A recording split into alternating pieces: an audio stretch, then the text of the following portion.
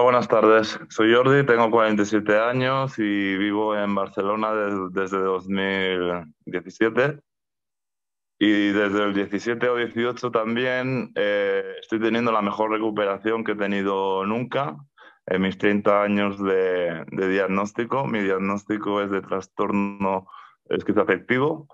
No, crea, no creo que el diagnóstico me defina como persona, pero nos puede orientar un poco en las situaciones que yo me he encontrado, ¿no? Por ejemplo, eh, estoy hablando de la recuperación y me gustaría hablar de, de qué me estoy recuperando. Entonces, mi, última, mi último proceso de manía fue en 2014, porque por una serie de circunstancias eh, quedé bastante aislado socialmente, tanto física como, como de, de red social. Y, y, bueno, todo esto combinado con el consumo de alcohol, una nueva convivencia con una nueva pareja, eh, el duelo por la muerte de mi madre, que murió en 2011, pero yo lo hice el duelo en 2014, se me juntó un poco todo y tal.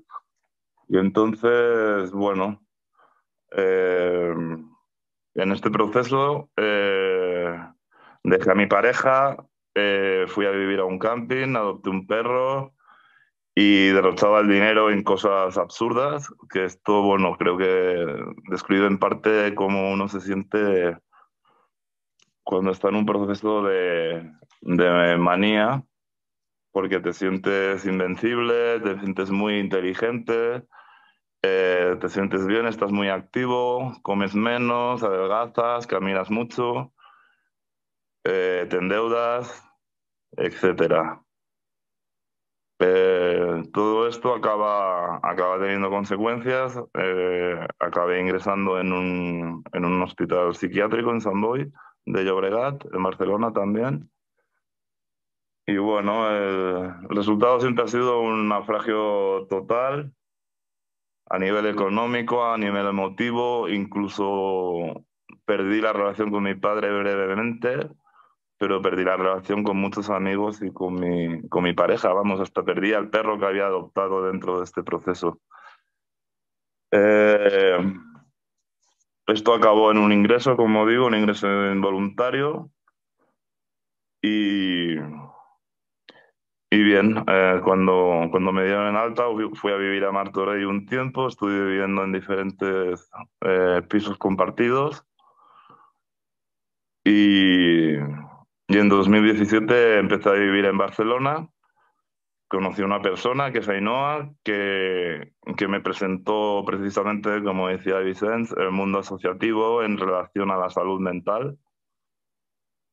Y, y a partir de ahí eso me, me, me fue activando bastante, eh, fui cogiendo responsabilidades, me fui empoderando, pasé de ser paciente, eh, que denota pasividad, a, a, dejé de ser paciente para tomar las riendas de mi recuperación.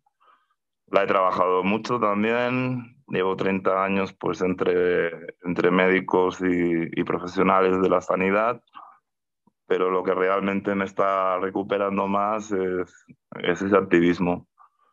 Respecto a, al proceso de manía, por ejemplo, mmm, como yo me siento también cuando estoy así, eh, lo que no quiero es ni ver a un médico ni a nadie que quiera normalizar mi ánimo porque me, encuentro muy bien y, bueno, y, todo esto al final, como digo, me, desbordó en 2014. En, cuando tenía 21 años, eh, que hice la selectividad, tuve una depresión profunda en la cual quedé anulado totalmente y no podía hacer absolutamente nada más que estar en, en, la cama de mi casa, cuidado por mis padres. Nunca he vuelto a tener una depresión de ese, de ese calibre, pero sí es cierto que sí es cierto que, que en el proceso de recuperación eh, tengo temporadas, eh, semanas, en que tengo una pequeña depresión, en la cual empiezo a, dejar a dejar de hacer actividades, a distanciarme de, de, mi círculo social, a aislarme. Y, y, bueno, eso dura un tiempo. Actualmente, en el presente, a día de hoy, eh, estoy intentando recuperarme de mi, desde Semana Santa, que estoy en situación, en la situación de este tipo. No es una situación que me produzca tristeza, pero sí que, que me produce una total apatía, un hastío y, y ninguna ganas de hacer nada ni de tomar responsabilidades. De hecho, si hubiera podido anular este webinar a, tiempo, seguramente no estaría aquí. Pero bueno, eh, desde el jueves pasado he empezado a, a, quedar con mis compañeros de Matisus, que es esta asociación sociocultural en la que me he apoyado tanto, no solo como socio, sino como implicado en la gestión y en llevarlo para adelante. Eh, soy vicepresidente actualmente de esta asociación que además está en la Federación de Entidades mm, de Salud Mental en Primera Persona de Cataluña, que se llama BEUS, en la cual también me he implicado mucho. Soy vocal de la Junta Directiva también. Y, y toda esta ocupación, todas estas responsabilidades me han hecho vivir una vida más plena estos últimos años. Aunque creo que nunca uno se recupera se recupera al 100%. Eh, yo siempre, esto es una discusión que tengo con una compañera que, que es agente de apoyo mutuo también, como yo, y yo creo que uno no se recupera siempre al 100% y he descubierto que me, que me frustra mucho, eh, bueno, que, que llega a ser un proceso bastante frustrante que a veces hay que esperar para coger fuerzas y es lo que estoy haciendo ahora. Hoy me he conectado, me conecto desde, desde Daroca, en Aragón, en la provincia de Zaragoza, porque hemos venido de viaje, hoy es el primer día, acabo de llegar al hotel y eh, es una cosa que, sí, que, en la, que en esta situación más de apatía nunca haría, pero si es un compromiso, pues está bien.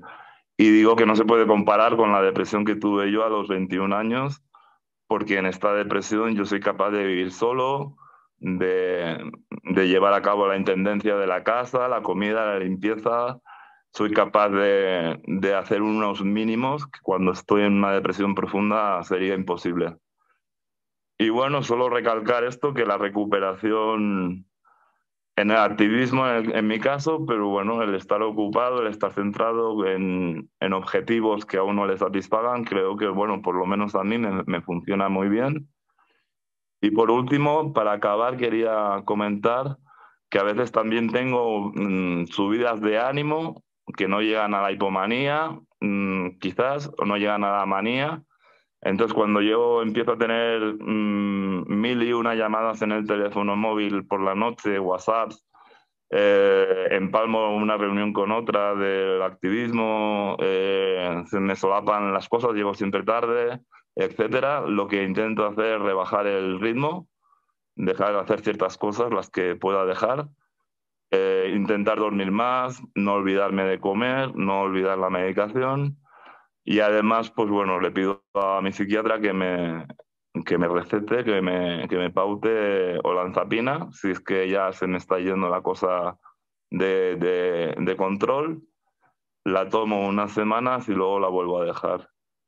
Y bueno, pues podría, me gustaría agradecer a, a, los profesionales que realmente se han tomado en serio mi, que, que, me he encontrado por el camino en estos 30 años, pues a los que realmente se lo han tomado en serio especialmente a Consol, mi psicóloga, a la psicóloga actual, Lara, y a mi psiquiatra, que lo acabo de perder gracias al sistema de salud mental, porque hay mucha movilidad de profesionales y tendré que empezar ahora con otra persona, cuando con Armand Yaurado eh, ya tengo una, un vínculo y una gran...